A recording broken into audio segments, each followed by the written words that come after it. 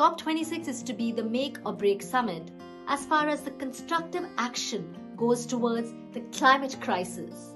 Has the summit delivered towards the climate crisis goals? Where does the world go from here?